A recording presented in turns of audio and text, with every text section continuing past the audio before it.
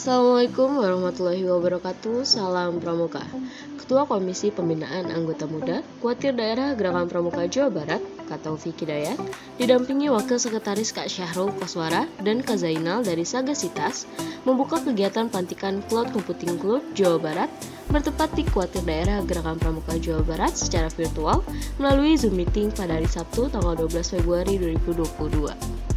Sekian laporan yang dapat saya sampaikan. Saya Evita Adhar dari TV Pramuka melaporkan.